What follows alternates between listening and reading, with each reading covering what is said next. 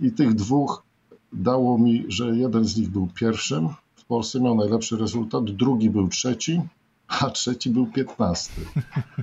Wiesz, I wtedy, e, jako taki nieopierzony coach tak naprawdę, sobie mówiłem, że ten trzeci to w ogóle jakiś nieudany. A tak naprawdę to była moja wina, e, to było moje niedopasowanie. Zapraszam do podcastu Rozwój Osobisty dla Każdego.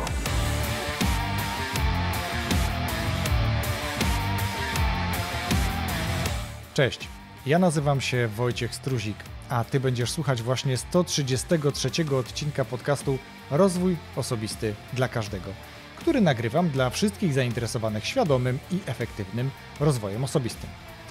Dzisiaj moim gościem jest Andrzej Cichocki, z którym rozmawialiśmy głównie o liderach, liderstwie, o dobrych praktykach, praktykach takich, które sprawdzają się na przykład za oceanem, o jego książce i a propos książki, od Andrzeja wszyscy słuchacze, ci, którzy oczywiście będą chcieli, mogą otrzymać książkę w wersji e-booka, która będzie do pobrania w opisie tego odcinka podcastu, więc tu już od razu na wstępie mówię, warto posłuchać i warto wejść na stronę rozwój osobisty dla każdego.pl łamane przez RODK 133. Tam będzie można pobrać tę książkę. A zanim zaproszę do rozmowy oczywiście z Andrzejem, to przypomnę, że w 132 odcinku. Moim gościem był Wojciech Bizub i z Wojtkiem rozmawialiśmy przede wszystkim o efektywności osobistej, o tych działaniach, które, które powodują, że jesteśmy bardziej sprawni, że potrafimy zrobić to dobrze, potrafimy zrobić więcej, e, potrafimy się regenerować i z jakich narzędzi do tych wszystkich czynności korzystamy, czy korzysta tak naprawdę Wojtek. E, Wojtek oczywiście też wydał swoją książkę, więc zapraszam do tamtego opisu podcastu, odcinka 132, żebyście mogli sprawdzić, jakie książki Wojtek poleca, ale też jaką książkę napisał i do której zakupu oczywiście, że namawiam także. Ja już ją kupiłem. E, dopiero po rozmowie, ale jednak. E, no i oczywiście, zanim zaproszę do właściwej rozmowy z moim dzisiejszym gościem, czyli Andrzejem Cichockim, to podziękuję w tym miejscu swoim patronom, którzy wspierają mnie cały czas, niezmiennie, z którymi rozmawiałem całkiem niedawno no i wkrótce będę rozmawiał znowu. To jest kapitalny zespół świetnych ludzi, którzy również mnie inspirują, więc bardzo, bardzo Wam za to dziękuję. A jeśli Ty chcesz przyłączyć do grona patronów, to zapraszam na stronę patronite.pl łamane przez RODK i wybierz tam dogodny dla siebie próg wsparcia, choćby to było 5 zł. Ja się tego spodziewam i z tego się bardzo, bardzo ucieszę, więc zapraszam i z góry dziękuję. A teraz zapraszam już do rozmowy z moim gościem, z Andrzejem Cichockim. Wszystkiego dobrego. Dzień dobry, nazywam się Andrzej Cichocki. Zajmuję się rozwijaniem ludzi tak naprawdę i firm. I to jest ciekawe, bo, bo to nie jest to samo, to nie zawsze jest to samo.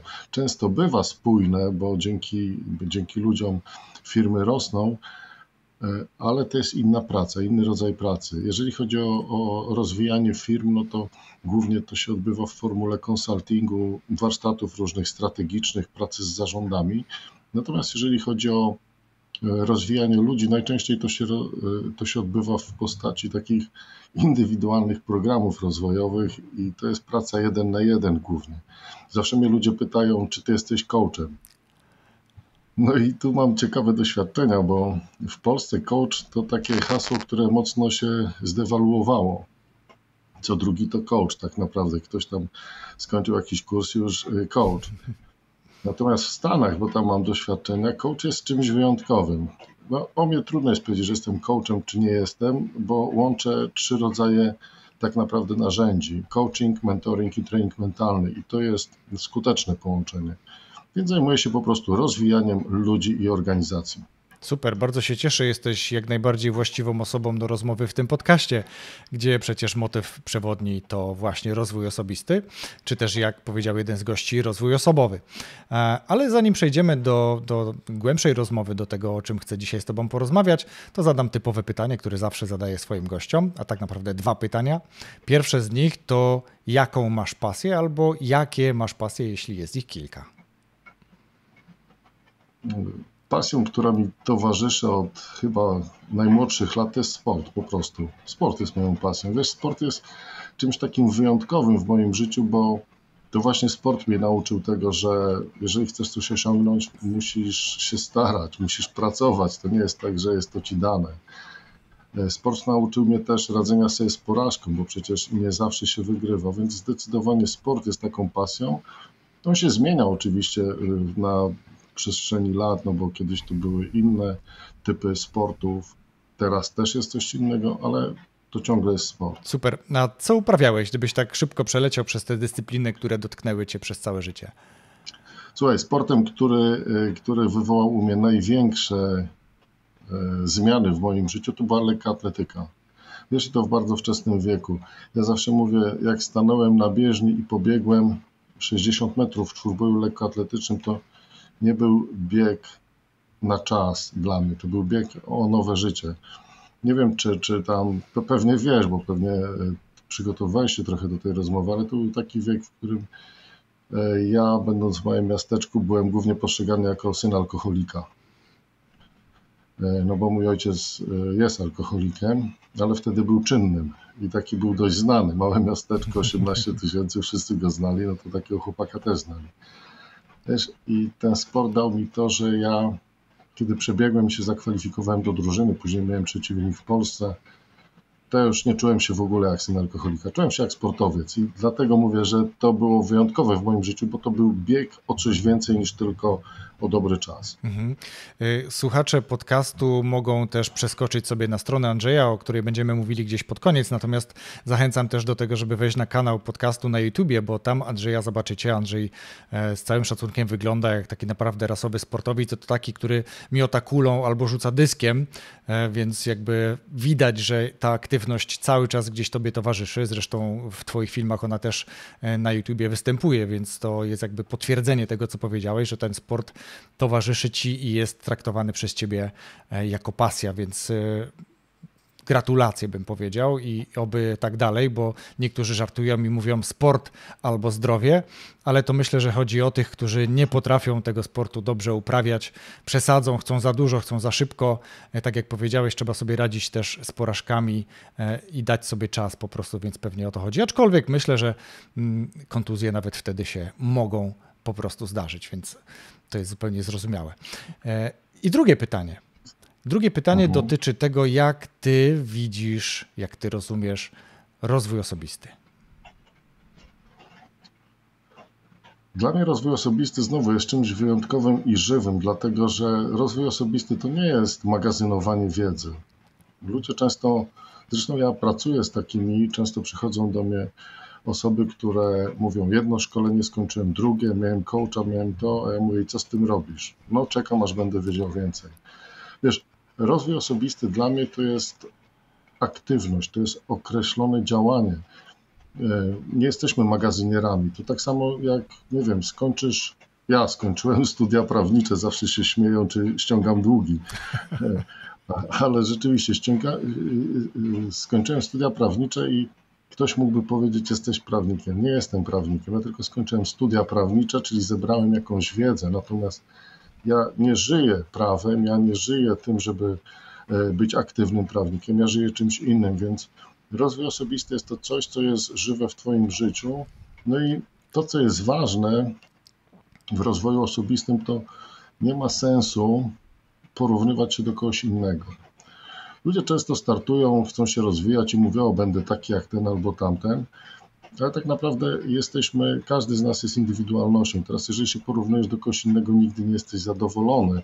Natomiast jeżeli porównujesz siebie z dzisiaj do siebie z wczoraj, wtedy to jest ok. I to jest rozwój osobisty, to jest praca ukierunkowana na określone cele, która e, jest wykonywana, a nie tylko magazynowana w formie wiedzy. Mhm.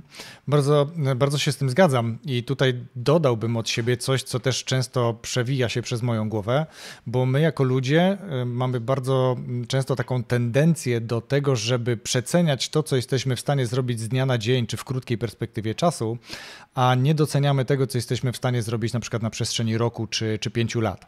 E, jakby ten, ta mm, gratyfikacja odroczona, e, borykamy się z nią, jakby nasz mózg jeszcze się do tego nie przyzwyczaił, przyzwyczaił, my jakby lubimy tą gratyfikację natychmiastową, e, no to tutaj jakby jest ten, ten taki konflikt i e, my chcemy zrobić szybko coś i, i mieć od razu tego efekty, a nie koncentrujemy się w perspektywie długoczasowej mm, i to takiej długoplanowej. E, I, i, I właśnie, i to jest taka świadomość, świadomy rozwój osobisty. Z jednej strony powiedziałeś, że ktoś z Twoich klientów był na szkoleniu jednym, drugim, na coachingu i nic z tym nie zrobił. A ja też wychodzę z założenia i mówię to swoim słuchaczom, mówię to swoim znajomym, e, piszę czasem w newsletterze, e, żeby z każdej książki, z każdego wystąpienia, nawet słabego, nawet słabej książki, bo przecież takie się zdarzają. To generalnie ktoś, kto powie, że książka jest dobra, to jest dobra dla niego, dla kogoś może być przeciętna lub słaba.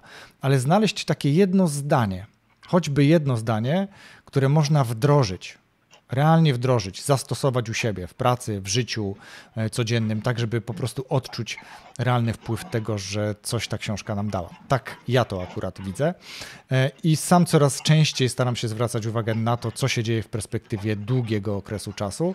E, do tego stopnia, i to też już tutaj mówiłem kiedyś, że Wolę nie wracać do swoich pierwszych odcinków podcastu. Tobie zresztą też powiedziałem, Andrzeju, przed uruchomieniem nagrania, że e, pierwsze nagranie tego podcastu nigdy się nie pokazało. Ono po prostu było słabej jakości i z gościem spotkałem się raz jeszcze i ten odcinek już nie był wtedy jako pierwszy, tylko jeden z kolejnych, ale początkowych. Więc to znowu pokazuje, jak można się przy okazji tego, co ja robię, co ty robisz, rozwijać się realnie stosując, po prostu wdrażając rzeczy, których się uczymy. Czy coś byś do tego dodał? Znaczy, jedynie to, że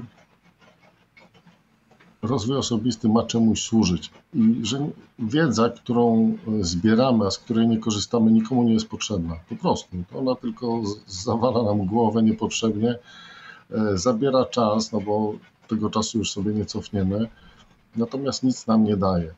Tak. Używana wiedza to skarb, ale nieużywana to po prostu kolejna rzecz, która y, jest w naszej głowie. Chyba, że ktoś się uczy po to, żeby rozwiązywać krzyżówki, natomiast faktycznie liczy się doświadczenie, a nie ta wiedza. Mm, tak ja na to też znowu patrzę. Dobrze, Andrzeju, powiedziałeś, że jesteś y, coachem, ale w rozumieniu tego coacha amerykańskiego bardziej, gdzie tam faktycznie e, ludzie liczą się. E, wiesz co, tam mam wrażenie, że się liczą w ogóle jakby z pewnymi e, zawodami, bo tutaj taka dygresja krótka. Mm, tam też służby zasłużyły na to, w jaki sposób ludzie ich traktują. Policja, straż pożarna, to są bohaterowie. No, u nas generalnie ciężko powiedzieć o, o tych zawodach, chociaż szanuję, ale jednak nie ma tej, tego prestiżu, który, który jest w Stanach, bo mówiłeś, że, że jakby też masz duże doświadczenia na tym rynku amerykańskim. E, więc to, to faktycznie tak jest. Ale jeżeli już mówimy tutaj o tym rynku polskim, e, łączysz coaching, łączysz mentoring i łączysz rozwój mentalny, czy też, e, no tak, tak chyba nawet powiedziałeś, rozwój mentalny. Więc które z tych obszarów, albo w jakiej, może dwa pytania. Jak to chronologicznie u Ciebie wyglądało? Od czego zaczynałeś? A druga część pytania to, który z tych obszarów w, twoim, w Twojej praktyce jest tym, który lubisz najbardziej? Pierwszą licencję coacha zrobiłem w 2001 roku, więc dość dawno. 20 lat. Tak. Zanim coaching e, jeszcze był modny. No, ja miałem ten przywilej, że pracowałem w korporacjach i, i dość dobrze sobie radziłem w tych korporacjach, więc jakby też dzięki temu byłem rozwijany, o, tak mhm. powiedzmy. Wiesz, i wtedy to, to było ciekawe doświadczenie, ponieważ to był taki projekt 40 się nazywał, P40, gdzie kadrę e, menedżerską, a ja byłem wtedy regionalnym dyrektorem w sprzedaży, z nich zrobiono coachów, czyli chciałeś, nie chciałeś, musiałeś zrobić licencję coacha. Oczywiście korporacja to zapewniła, to był alians, więc dbali bardzo o to, żeby to było jakościowe. No i projekt polegał na tym, że każdy z nas dostał trzech podopiecznych. No jak to coaching, czy, czy mentoring, czy cokolwiek powinno być e, ukierunkowane po coś. Tu prowadziliśmy tych swoich mm, podopiecznych przez rok, no i chodziło o to, żeby zmierzyć rezultaty, które osiągnęli. Wiesz, i ja miałem to szczęście, że z trójki, którą dostałem, dwóch idealnie pasowało do mnie. Jeden nie. I tych dwóch dało mi, że jeden z nich był pierwszym w Polsce miał najlepszy rezultat, drugi był trzeci, a trzeci był piętnasty. Też i wtedy, jako taki nieopierzony coach tak naprawdę, sobie mówiłem, że ten trzeci to w ogóle jakiś nieudany. A tak naprawdę to była moja wina, e, to było moje niedopasowanie. Więc zacząłem od coachingu. Mentoring przyszedł z czasem, bo trudno jest mówić, że jesteś mentorem, nie mając doświadczenia tak. zawodowego. E, ja to doświadczenie, wiesz, ja mam już prawie 50 lat, tak? W przyszłym roku będę miał 50 lat, więc e, to doświadczenie już zaraz będzie prawie 30-letnie, kiedy pracuję w różnej formule. W korporacjach pracowałem dość długo, no i teraz Wiesz, mentoring przychodzi z czasem, bo to jest pewna mądrość biznesowa, to jest ileś porażek, ileś oczywiście sukcesów, umiejętność spojrzenia z boku i, i to przyszło z czasem. Natomiast trening mentalny to jest typowy efekt e, na przykład rozwoju osobistego właśnie w moim przypadku, czegoś nad czym pracowałem, szukałem i teraz trudno jest powiedzieć, e, które z tych narzędzi stosuję jako pierwsze, bo to zależy od tego, z kim pracuję bo to jest jakby główna sprawa. Jak mnie zatrudniają na przykład do korporacji, ponieważ trzeba przygotować kogoś do sukcesji i mamy na to pół roku, śmiało można wychodzić z, z coachingiem, tak, jako takim e, głównym, główną ścieżką. Natomiast bardzo często jest tak, że mam kogoś w sprzedaży, jakiegoś dyrektora, czy jakiegoś członka zarządu, który wchodzi w sprzedaż, e, obejmuje obszar sprzedaży i trzeba go przygotować. No, a sprzedaż jest mierzalna i do tego wszyscy oczekują szybko wyników.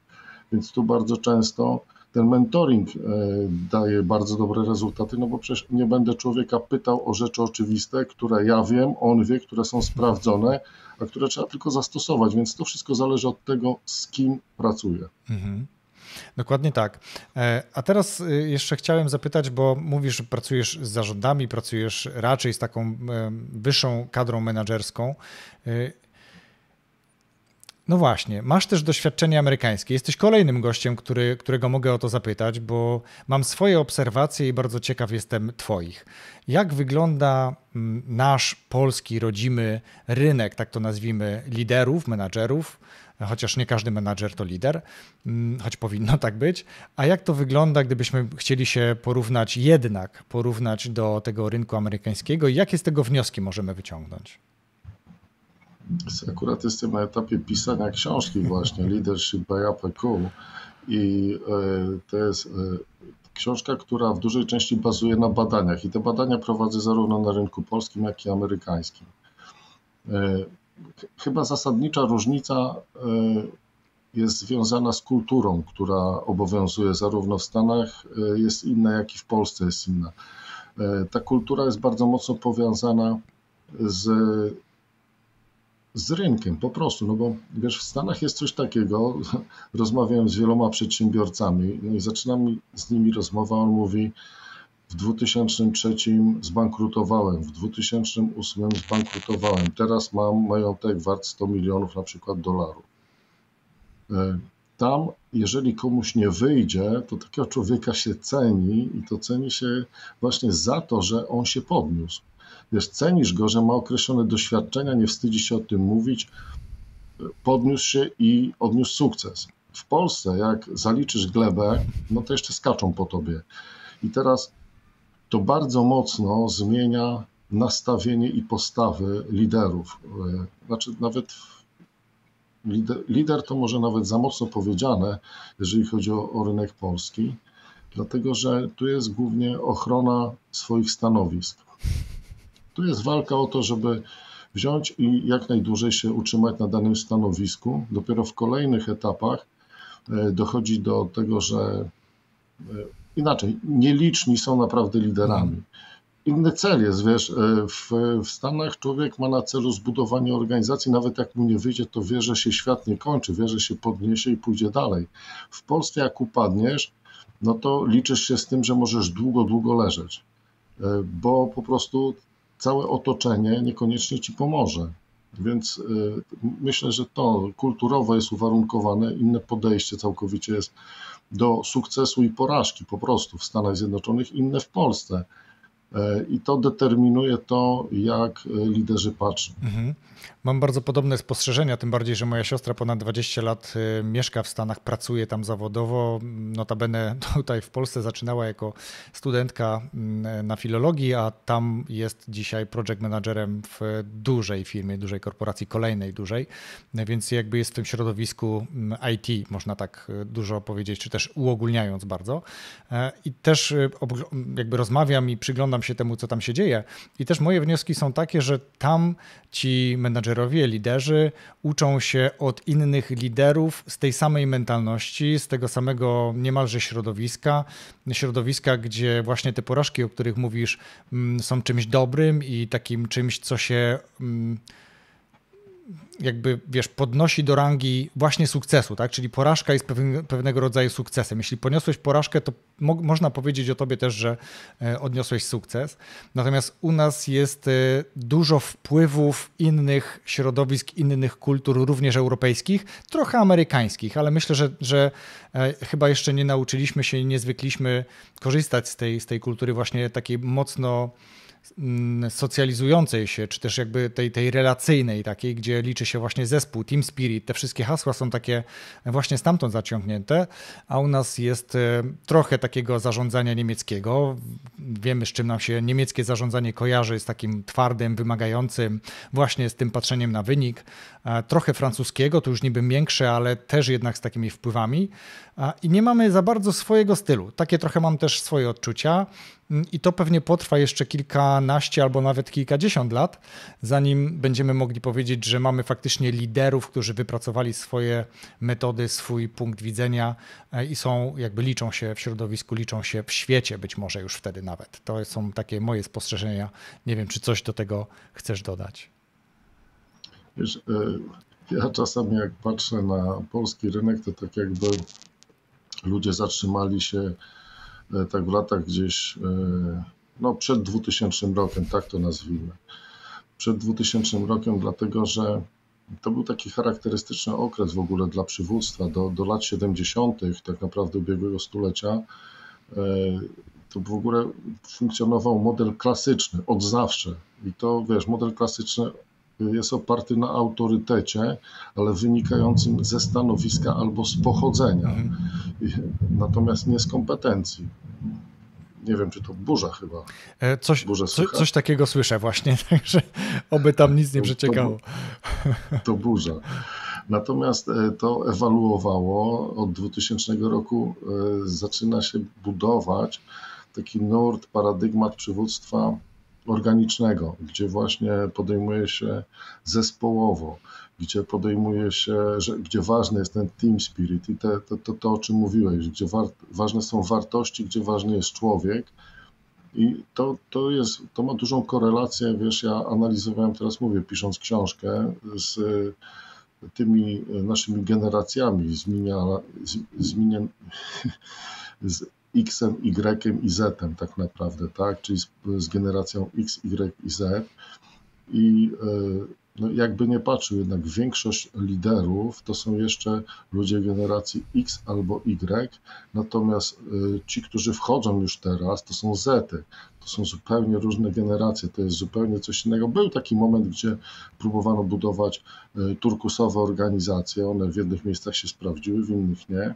Jeszcze potrzebujemy czasu, ale to też organizacja musi być przygotowana do takiego modelu. Tak, i nie każda organizacja jakby ten model wchłonie, tak, czy też jakby zastosuje, bo przecież mm, są bardzo duże organizacje, gdzie to moim zdaniem nie ma szans, żeby to przetrwało. Jak gdyby tam jakaś struktura jednak musi być, tam zakres odpowiedzialności musi być, tam gdzie jest rada nadzorcza i tak dalej, ale to są być może tylko moje punkty widzenia co do tego. E, ale wróćmy do naszych liderów. Wróćmy do tego i trzymajmy za nich kciuki, żeby to faktycznie wyglądało w ten sposób, o którym mówisz, że to już dzisiaj powoli widać. I faktycznie tak jest. Niektórzy goście też o tym mówią. Mm, I mówią częściej e, oficjalnie, natomiast kiedy pytam trochę, można powiedzieć tak w kuluarach, to jednak mówią, no to jednak idzie bardzo powoli, no to jednak jeszcze jest trochę mało tych, tych liderów. E, cały czas mówimy o tych liderach, którzy doceniają, o tych liderach empatycznych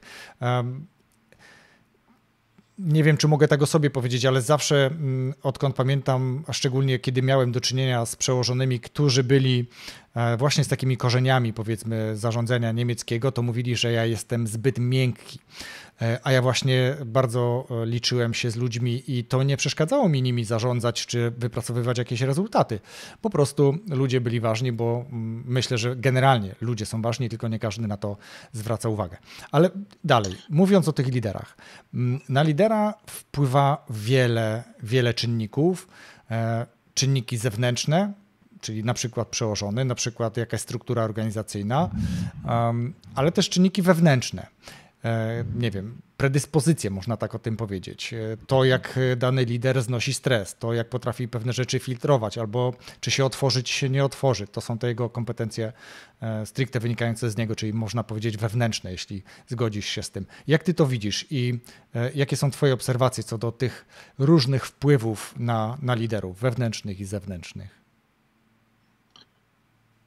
Zdecydowanie, znaczy w ogóle e, leadership, no bo to, żeby mówić o, lider, o liderze, trzeba to ująć w jakiejś sytuacji, tak? E, ja to określam w sytuacji leadershipowej, czyli e, tak naprawdę relacyjnej, w której występuje lider, no bo on musi być, ale występują też zwolennicy albo przeciwnicy, czyli ludzie, którzy są w organizacji albo w zespole. Występuje też cały kontekst sytuacyjny, i to wszystko, i jeszcze uwarunkowania jakieś dodatkowe, i to wszystko dopiero tworzy relację, którą możemy określić leadershipem. Jeszcze nawiązując do tego, co wcześniej trochę powiedziałeś, że ty byłeś miękkim liderem, że szefowie tak mówili. Tak naprawdę widzisz, e, ja z kolei jak zaczynałem, to byłem zamordystą.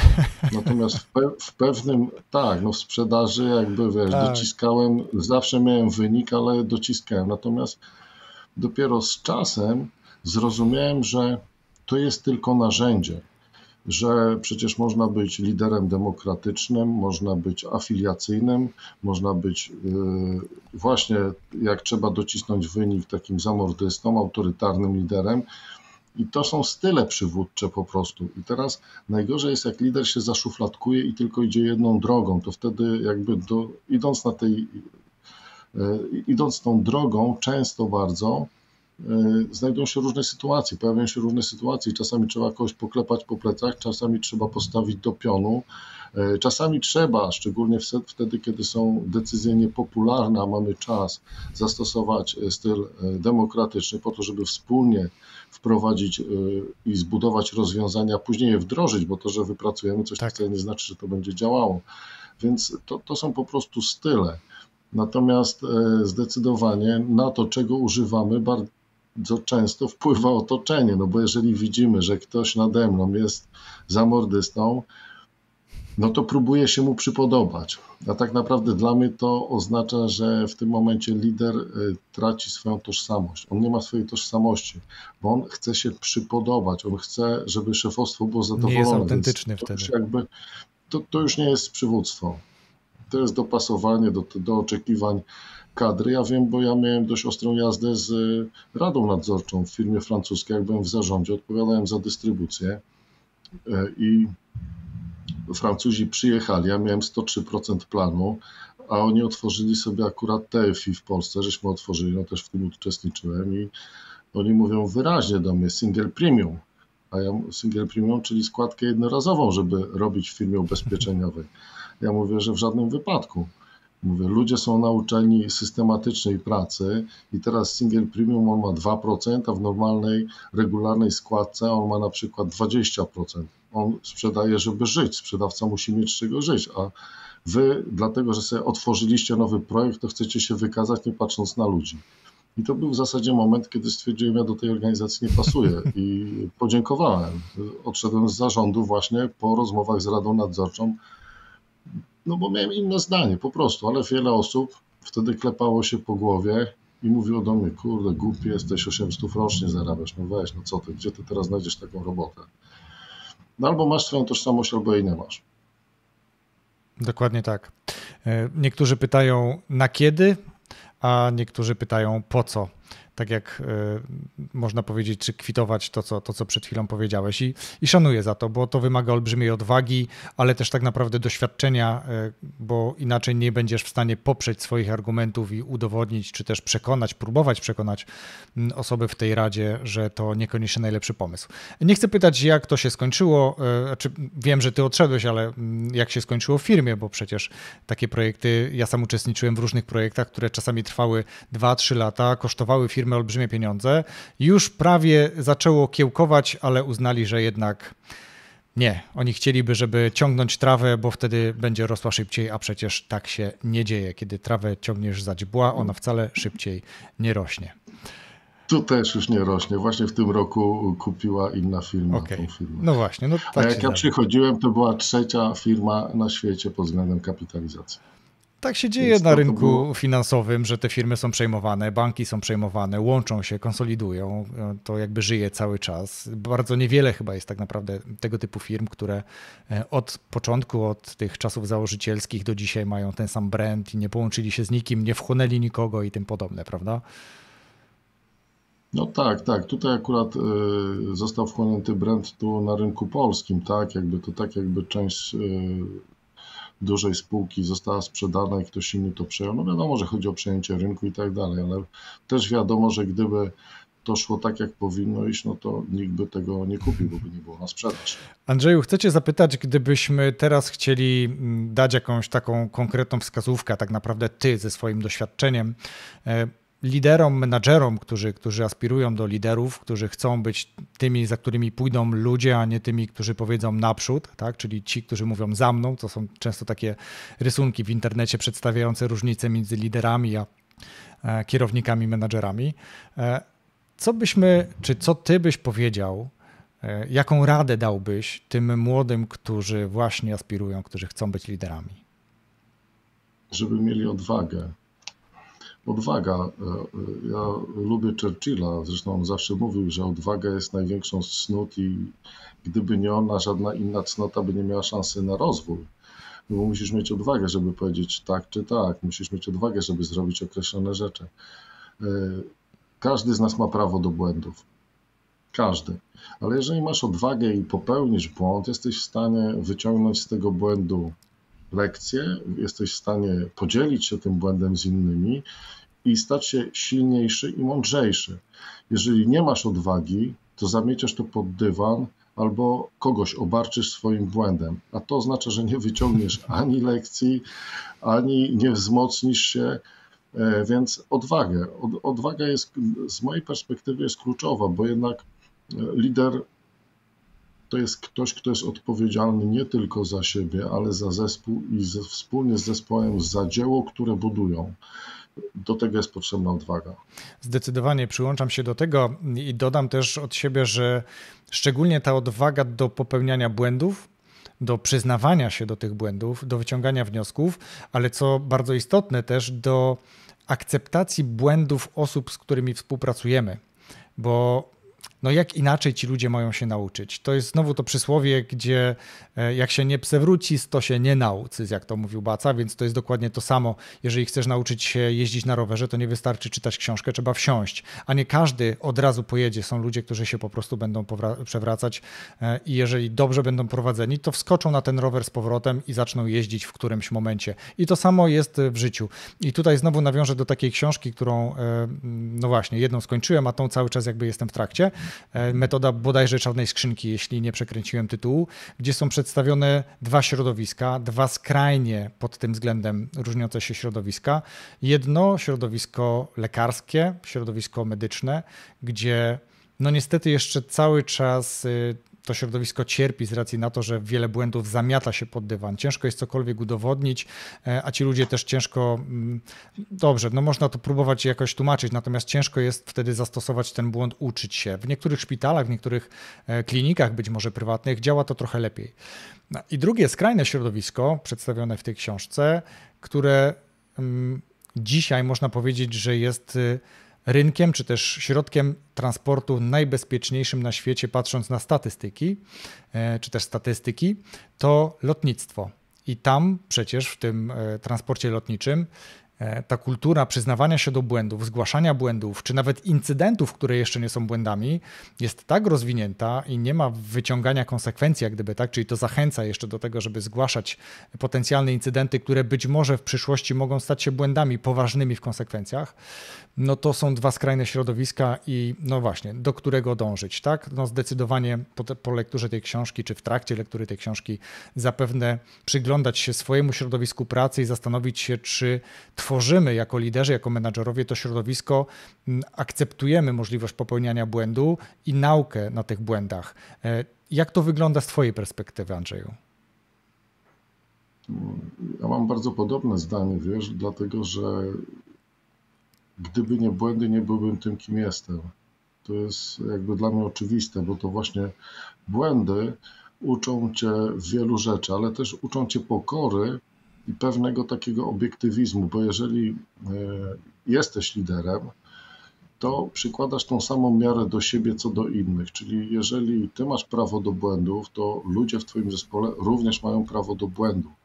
Jeżeli ty wiesz, co zrobić z błędem, który popełniłeś, to jesteś w stanie nauczyć ludzi, co mogą z tym zrobić. Więc to jest jakby błąd jest dla mnie to jest czymś, co powoduje rozwój. To jest konieczne do tego, żeby się rozwijać.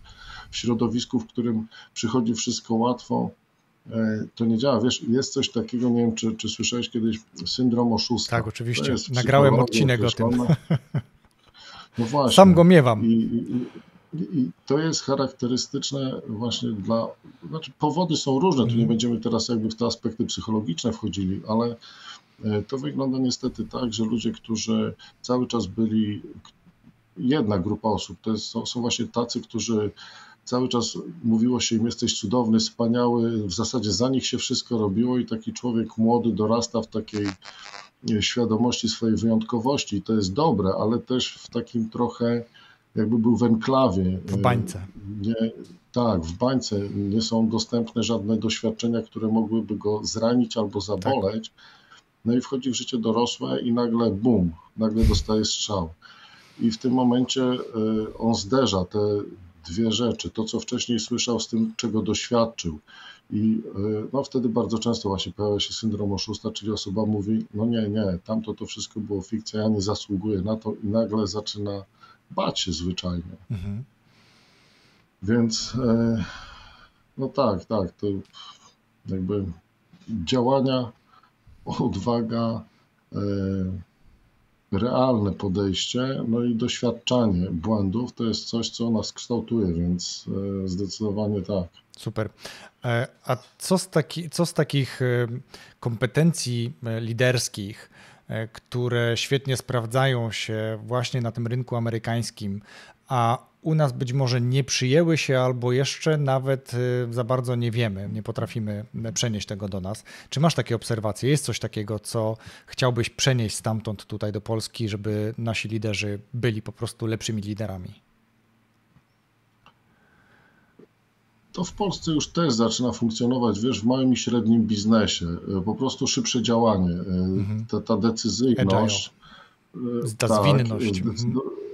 Zdecydowanie daje lepsze rezultaty, no bo jak masz proces decyzyjny zbyt długi, to wtedy jakby coś, co dzisiaj warto zrobić, już niekoniecznie warto to robić jutro albo pojutrze, albo nie zbuduje ci takiej przewagi konkurencyjnej, jaką byś chciał, więc jakby szybkość działania, ja mam takie doświadczenia też w korporacjach, jak pracowałem, a teraz doradzam na przykład, y, nie wiem, mniejszym firmom i niektóre rozwiązania przenosiliśmy z korporacji, to one świetnie działają, ale z jednego powodu, nie dlatego, że one są lepsze, a w korporacjach były gorsze, one są takie same, tylko proces decyzyjny jest dużo mhm. krótszy, i po prostu są wdrażane wtedy, kiedy powinny być, a nie e, jak się wszyscy święci zabezpieczą. Więc e, to jest zdecydowanie e, ta, ta szybkość działania, decyzyjność, ale ona się pojawia, więc, więc od strony takich operacyjnych rzeczy. Natomiast myślę, że na poziomie kompetencji i strategicznych, ale też wiesz, ta książka, którą piszę, ona dotyka takich czterech elementów. Jednym elementem jest fundament i tym fundamentem jest człowiek, czas, tam działanie, jest kilka rzeczy, zasady i słowo, ale ten fundament jest otoczony takimi trzema, e, trzema jakby strefami. Pierwsza strefa to jest e, poziom świadomości lidera. I tutaj to jest bardzo ważne, żeby liderzy jakby tą świadomość swoją budowali, wiedzieli, co się w rozwoju i w kolejnych sytuacjach może wydarzyć. Druga taka strefa to, to jest poziom kompetencji właśnie liderskich i e, one są podzielone na strategiczne i na operacyjne, a trzeci po prostu narzędzia. I teraz e, to, co ja obserwuję i ten model, który opisuję, on, czy rynek amerykański, czy polski, czy korporacja, czy średni, średni biznes, czy organizacja non-profit, czy organizacja przestępcza, e, to działa po prostu. Musimy te, te kompetencje zabezpieczyć i pewnie, że w zależności od tego, na jakim poziomie jesteśmy w strukturze, czy bardziej jesteśmy CEO, czy jesteśmy jednak jakimś e, szefem obszaru albo szefem zespołu, no to, e, jakby różny poziom tych kompetencji jest potrzebny. Natomiast model działa, więc e, pewne rzeczy muszą być zabezpieczone. Ale w tym wszystkim najważniejsze jest to, żeby lider pamiętał, że przywództwo to nie jest stanowisko, to jest sposób bycia. Mhm. To też dodam jeszcze, bo chcę wrócić do jednego tematu, ale e, przywództwo, czy też jakby lider, to żeby zrozumieć to, szczególnie ci, którzy być może mijają się z prawdą, zespół nie jest dla lidera, tylko lider jest dla zespołu. To jest jakby taka rzecz, która dla mnie jest oczywista i staram się tego przestrzegać, natomiast e, no, no bywa, że niektórzy myślą e, zupełnie inaczej. Natomiast ja chcę wrócić do tych procesów decyzyjnych, bo bardzo sprawne organizacje mają bardzo krótki, szybki proces decyzyjny. I tak z mojego doświadczenia, z mojego punktu widzenia są dwie drogi. Obie są dobre na swój sposób, do pewnego momentu być może. Jedna to bardzo płaska struktura, kiedy te osoby, które podejmują decyzje, są zaraz za decyzją, są zaraz jakby nad tym zespołem czy nad człowiekiem, który te decyzje przekazuje czy konsultuje.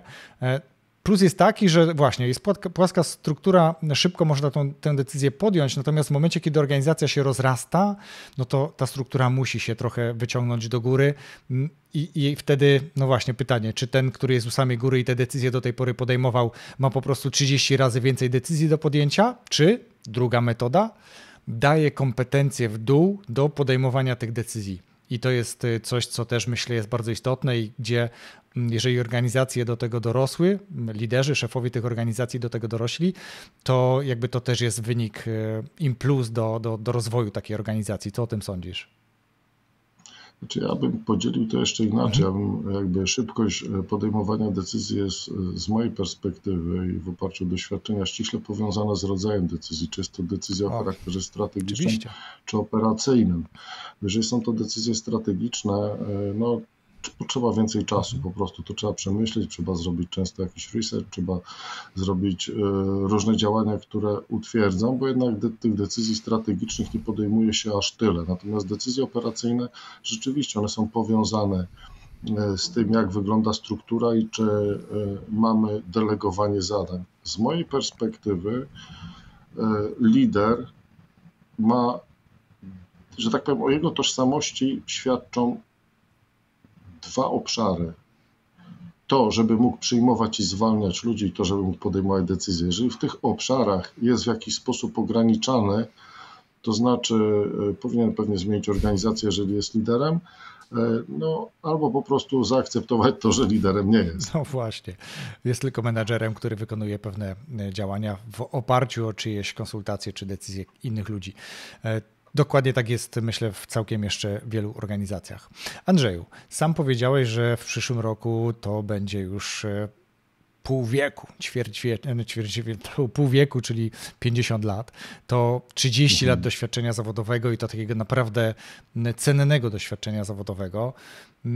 To co powiedziałbyś sobie, powiedzmy, te 20-30 lat temu? Czy coś byś dał sobie jakąś taką radę, e, czy po prostu poklepał się po ramieniu i powiedział go for it, idź tą drogą właśnie? Szedłbym tą drogą jeszcze raz. Wiesz, popełniłem dużo błędów. Naprawdę, jak myślałem, że jestem takim królem, miałem 27 lat i nagle zostałem dyrektorem e, firmy, dyrektorem generalnym, bo się sprawdziłem w krótkim okresie na szefie sprzedaży, jako dyrektor sprzedaży, nagle mi awansowano na szefa firmy a, dodatkowo jeszcze byłem prezesem w innej spółce w wieku 27 lat. byłem wtedy zamordystą. Tak naprawdę sukcesy osiągałem tylko dlatego, że dociskałem ludzi kolanem. Gdybym tego nie zrobił, pewnie nie wydarzyłoby się to, co się wydarzyło na przykład jak szedłem do PZU, jak wzięli mnie na assessment, było 70 kandydatów na szefa sprzedaży, a wiesz, tam odpowiedzialność 5 tysięcy ludzi miałem pod sobą. No to mówią, proszę pana, nie wiadomo do czego te wyniki mamy przypiąć. W niektórych obszarach jest pan wybitny, a w niektórych totalne dno.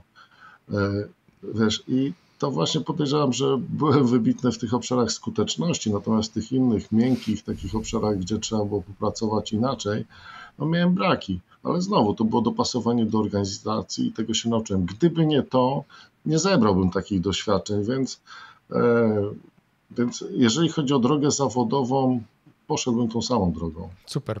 To też bardzo dojrzałe i przyznam, że kiedyś chyba o to byłem zapytany w jakimś live'ie e, i chyba odpowiedziałem bardzo, bardzo podobnie. E, czyli jakby nie żałuję i cieszę się z tego, czego doświadczyłem, z tych decyzji, które podejmowałem i cieszę się, że podobnie jest u ciebie. A, I kolejne pytanie, jakie mam do ciebie, mm, to ciekaw jestem, z czym chciałbyś zostawić słuchaczy po przesłuchaniu tego odcinka, żeby co im z naszej rozmowy zostało w głowie? Może co powinni wdrożyć? Liderem można się stać. Ważne jest, żeby o tym pamiętać, bo często jesteśmy w różnych momentach życiowych i y, patrzymy na to, że o tamten to jest urodzony lider, mnie nigdy to nie spotka. Y, kochani, to tak naprawdę jest y, droga. Stawanie się liderem to proces i to proces zależny od naszej decyzji, więc jeżeli ktoś marzy o tym, żeby być liderem, to on nim będzie pod warunkiem, że wykona określoną pracę, określoną aktywność. E, dla pocieszenia powiem, że e, były badania robione w latach w zasadzie 30. XIX wieku, gdzie próbowano wyciągnąć e, cechy charakterystyczne liderów i najpierw próbowano E, te cechy charakterystyczne wyciągać z postaw, no ale tu był problem, bo byli liderzy duzi i mali. Nie? No, Napoleon był liderem, ale za duży nie był. Więc okazało się, że to niekoniecznie grano. To później zaczęto szukać cech wspólnych, jeżeli chodzi o zachowania, no ale okazało się, że to też nie do końca daje radę. To w zasadzie dało początek temu, że liderem można się stać. Nie trzeba się nim wcale urodzić, więc to jest taka główna myśl. Jeżeli chcecie być liderami, to warto, dlatego że, tak jak powiedziałem, lider dla mnie to nie jest stanowisko, lider to jest sposób życia. A kochani, żyjemy na co dzień, żyjemy w biznesie, żyjemy w rodzinie, żyjemy e, czasami sami. I teraz, e, będąc liderem, jesteś i liderem w organizacji, i liderem w swoim życiu, i liderem w rodzinie, więc warto. Mhm. Zgadza się, dziękuję Ci bardzo za to. Też zaciekawiłeś mnie opowiadając o tym, jaką konstrukcję będzie miała książka, jakiej będzie treści. Przyznam, że też chętnie ją e, na pewno przeczytam, ale ciekaw jestem, jaką książkę albo jakie książki, jeśli jest ich kilka, bardzo chętnie, poleciłbyś słuchaczom tego podcastu.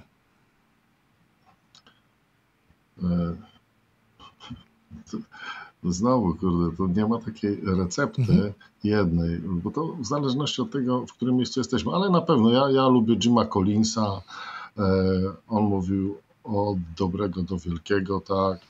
E, bardzo lubię, jest taka książka, zapomniałem autora, natomiast tytuł jest e, tytuł jest Punkt przełomowy. Mhm. To jest charakterystyczny tytuł, mega książka, naprawdę wybitna. Znajdę tradycyjnie e, i podlinkuję te książki, o których mówi Andrzej i za chwilę jeszcze doda kolejną. Będzie można znaleźć w opisie tego podcastu na stronie rozwój osobisty dla każdego.pl.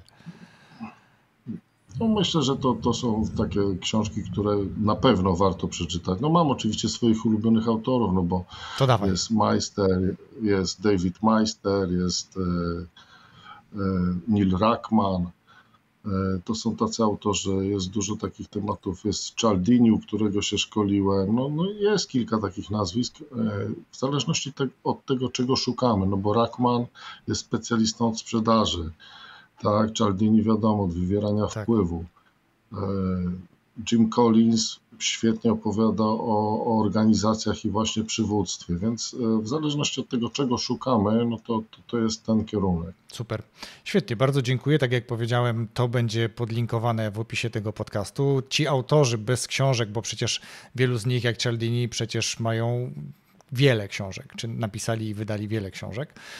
No dobrze, no to pytanie zamykające niemalże. E, ktoś posłuchał e, naszej rozmowy, wydaje się być zainteresowany tymi treściami i chce więcej, to gdzie Andrzej odeśle taką osobę, gdzie mm, albo gdzie ta osoba może ciebie zapytać, zaczepić, napisać, albo gdzie chciałbyś, żeby ta osoba weszła, żeby zobaczyć więcej treści, które publikujesz? No to na pewno, na pewno e, LinkedIn, po nazwisku, czyli Cichocki Andrzej, to na pewno Facebook, to są te miejsca, gdzie też łatwo się ze mną skontaktować. Praktyk życia i biznesu. Długo myśleliśmy nad nazwą, ale tak trudno było coś innego do mnie przypiąć.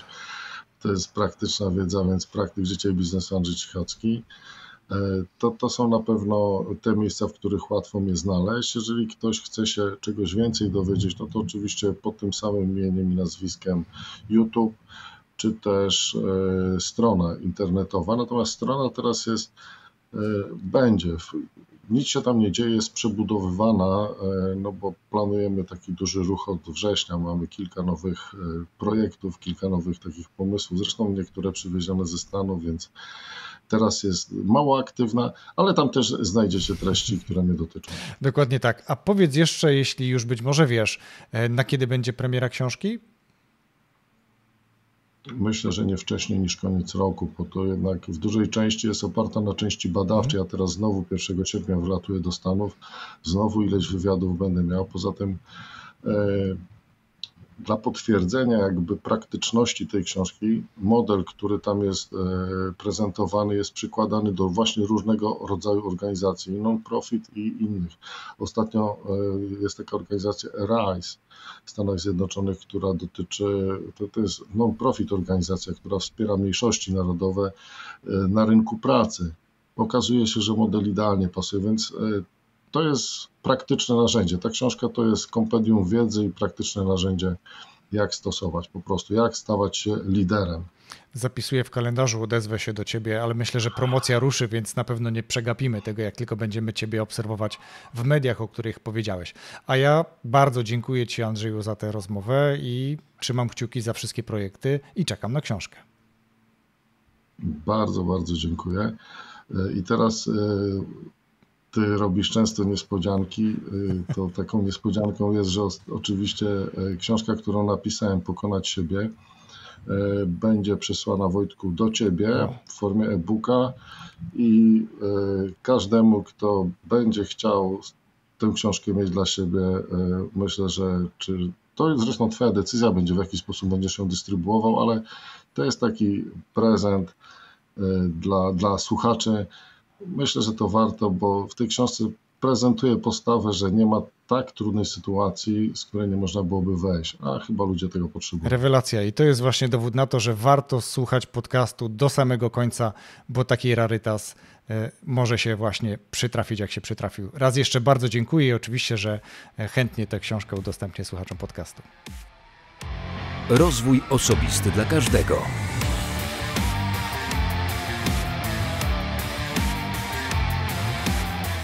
Dziękuję Ci za wysłuchanie tego odcinka do końca, jeśli go słuchałeś oczywiście. Jeśli go oglądałeś przy okazji słuchając na YouTubie, to również bardzo dziękuję. Jeżeli odcinek spodobał Ci się na tyle na YouTubie, to może będziesz chcieć nacisnąć przycisk subskrybuj i dać łapkę do góry. Jeśli nie podobał się i chcesz dać łapkę na dół, oczywiście, że szanuję Twoją decyzję, masz do tego pełne prawo. Nie to, żebym namawiał.